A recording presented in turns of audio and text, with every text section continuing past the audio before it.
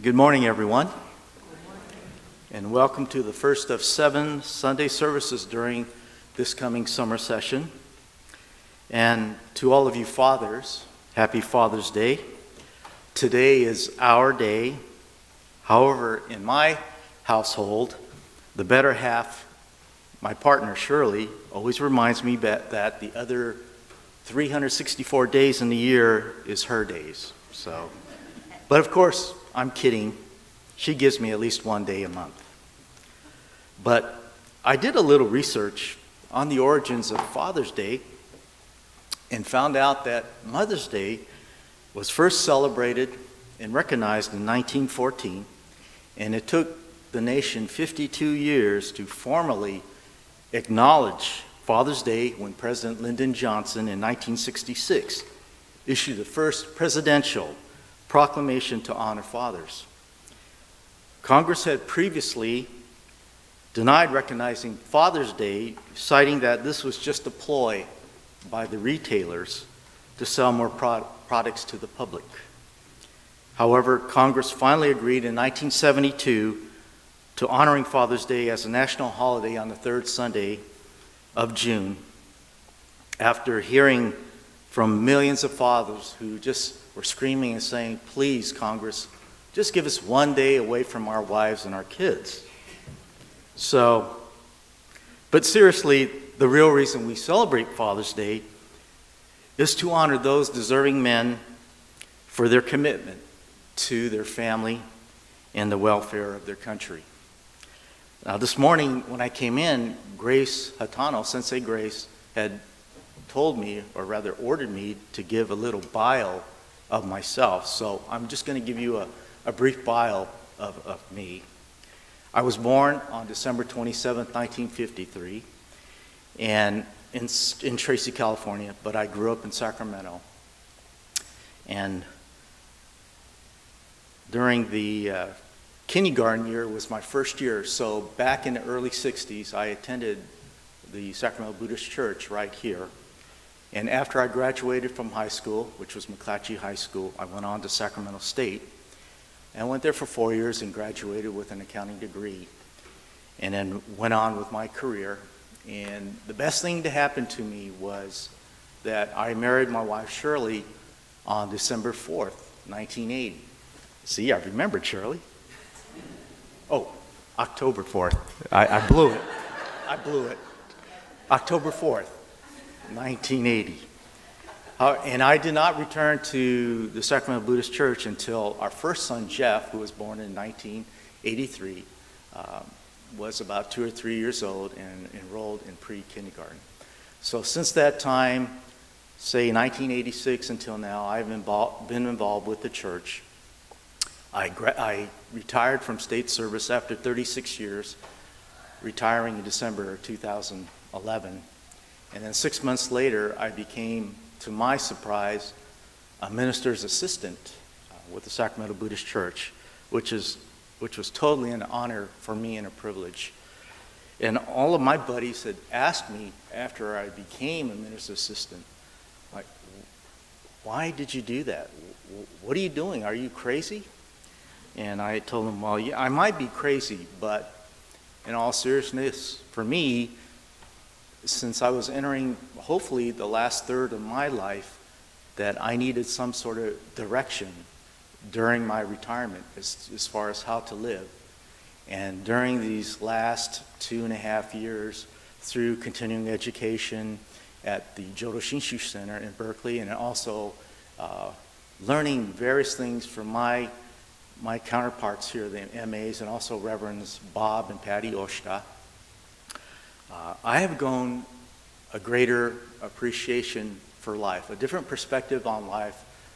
It's given me more meaning as far as a deeper appreciation for my family and my friends, and just people in general, knowing, the, knowing how difficult life really is when you really think about it. And so that's just a brief bio on my part. And now what I will do is get into my Dharma message for today. It is about a story that first came out 53 years ago in 1962 when I was a second grader. It was about a Professor Fowler who was in his early 70s, who taught poetry at the Rock Spring School for Boys. One afternoon, the professor was summoned to the headmaster's office to discuss his future at the school. Because of the time devoted to giving final exams, grading papers, and getting ready for the upcoming Christmas New Year holiday, which marked the end of another school year, the professor did not really know the real purpose for the meeting. He had assumed that the meeting was to go over the signing of a new contract for another year. However, much to the professor's surprise, the headmaster informed the professor that his employment with the school would be terminated. Instead of continuing to teach at the school where he taught for over 50 years, the professor was suddenly, suddenly staring at retirement. In a dazed and confused state at his home, he pulled out the past school yearbooks and quietly reminisced about his years at the school. With the unexpected end of his employment, the professor sadly came to the conclusion that he was useless now, a complete and utter failure, giving his students nothing but meaningless gibberish, moved and motivated no one, and left no imprint on society.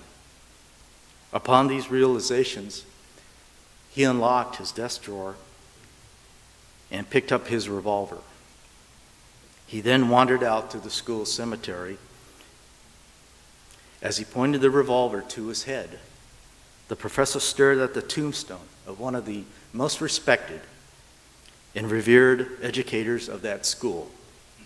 On that tombstone read the following Be ashamed to die until you have won a victory for humanity. The professor lamented, quote, I have won no victories, and now I am ashamed to die, unquote. As the professor was about to pull the trigger, out of the clear blue night, the school bell started ringing. Startled and curious, he made his way back to his classroom to find out what was going on. In the dark, empty classroom, the professor saw a strange light, and the images of seven young men appeared sitting in the desks. With a look of fascination, the professor spoke. Boys, please forgive me, but what are you doing here? One by one, each of the boys stepped forward to introduce himself. The first young man, Bartlett, sir, class of 1939. I died in Roanoke, Virginia, conducting research in x rays and was exposed to radiation which resulted in my contracting leukemia. I remember what you said, Professor, a quote from the poet Walter, as I continued to battle this disease while conducting research. I would be true, for there are those who trust me. I would be pure, for there are those who care. I would be strong, for there is much to suffer, and I would be brave, for there is much to dare. This is what you taught me, Professor, and I have never forgotten that. Next, the second young man. Beechcroft, sir, class of 1941. I was killed at Iwo Jima in 1945 and was posthum- posthumously awarded the Congressional Medal of Honor. This medal partly belongs to you, sir, as I learned what courage was from you. Next, the third young man. Weiss, sir, class of 1915.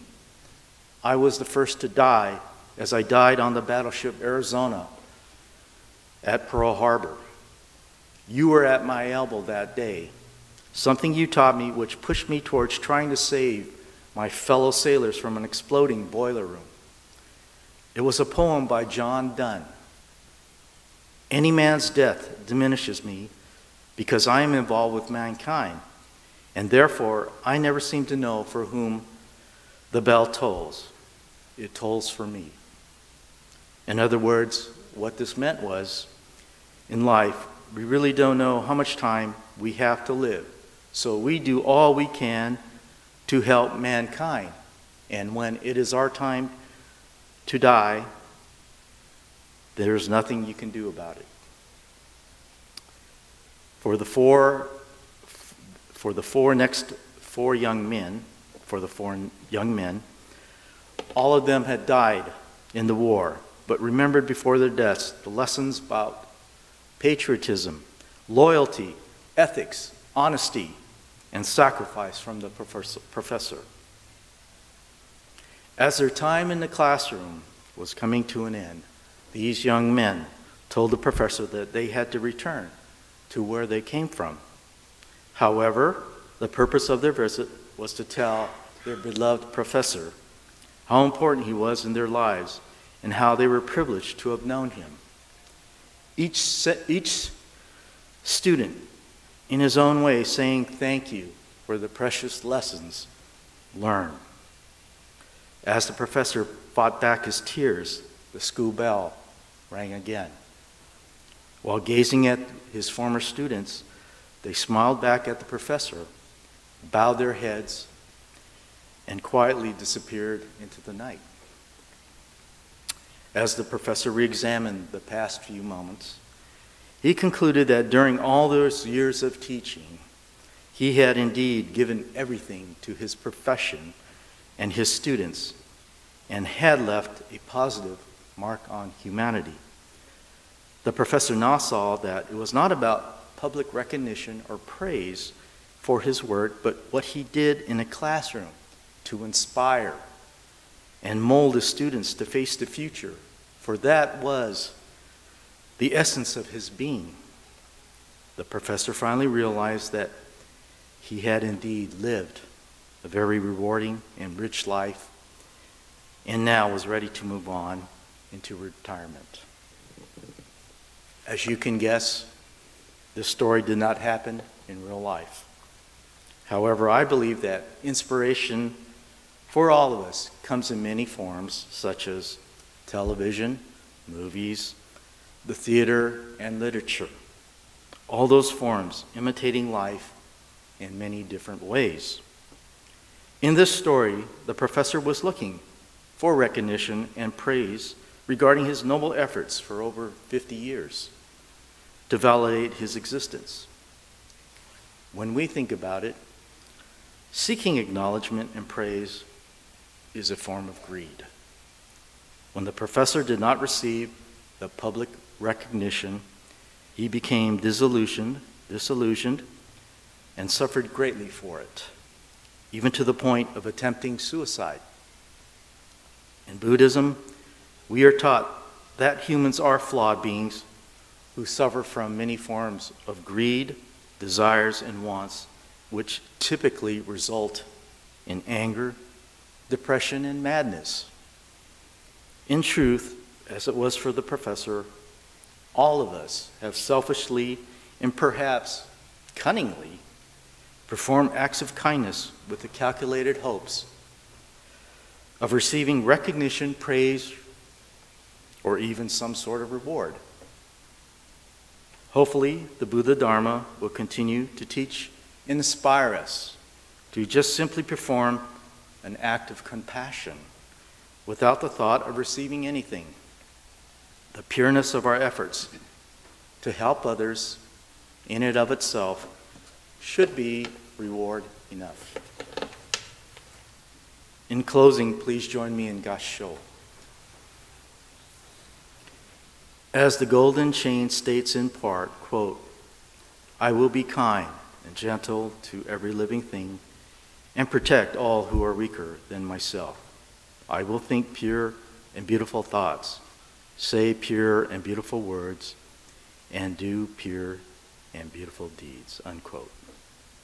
Words to live by so that we may aspire to attain perfect peace in order to live a life well lived. Namo Amitabha. Namo Amitabha. Namo Amida Butsu. Namo Amida Butsu.